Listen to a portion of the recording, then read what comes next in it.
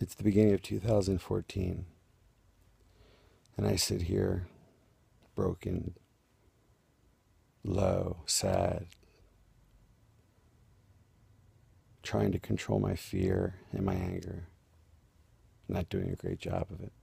Why? What's happened? Well, everything.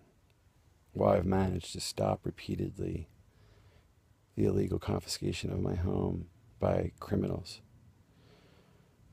Uh, I last did it in August of 2013, and now in January of 2014, for reasons I will outline in another scene, I faced the loss of my home again for reasons that are even more absurd and ridiculous and fraudulent and, and, and, and completely, completely unconstitutional. But I guess what I wanted to say here is that I guess the emotional toll is catching up to me because my wife has left with my children, unable to tolerate the stress, this unnecessary battle, this unnecessary war has um, imposed upon her. I don't blame her for this.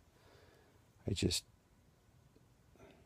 if all courts of equity are based upon injury, the injury imposed upon me by Chase now is incalculable.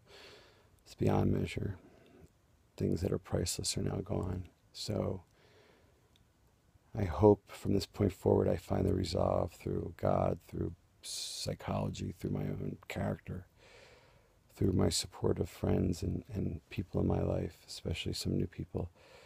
I hope I find the strength to fight on and kick their asses because I am not going to be a poster boy for a victim by their hand. I promise you that. But I have to admit, I've never felt so low. Never. Never.